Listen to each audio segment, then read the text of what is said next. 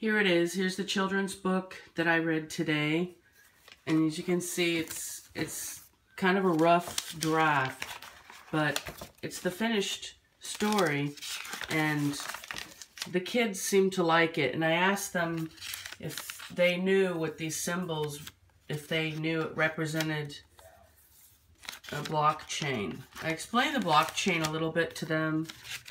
They, I don't know if they understood it, but this is the story of the whales securing the blocks. And the there's the blockchain. There's the little fish. When they first come in to Steemit, it's so scary. Everyone's alone. And this is Donkey Pong, of course. Many of you may not have read this story. I'll put a link to it. Some people said this children's story.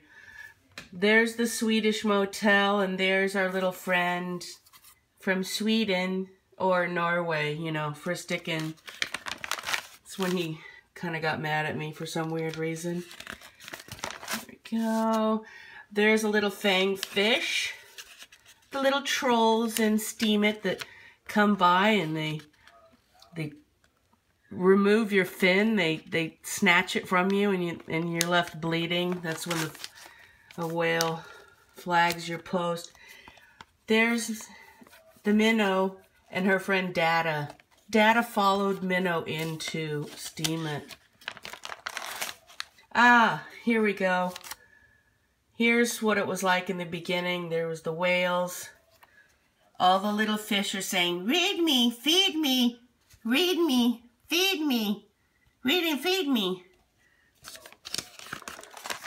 Ah, now we've come to the end. You'll have to read all about the amulets and what those mean. Anyway, it's a rough draft book, but it was read today. In public school, yes. The kids know about steemit.com.